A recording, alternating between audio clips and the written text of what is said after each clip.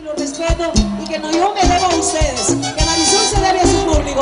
Muchas gracias, los quiero un montón.